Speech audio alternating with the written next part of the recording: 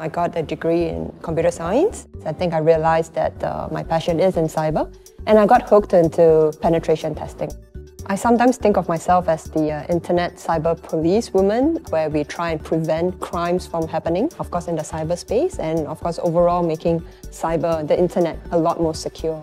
It's definitely very exciting because it's constantly evolving.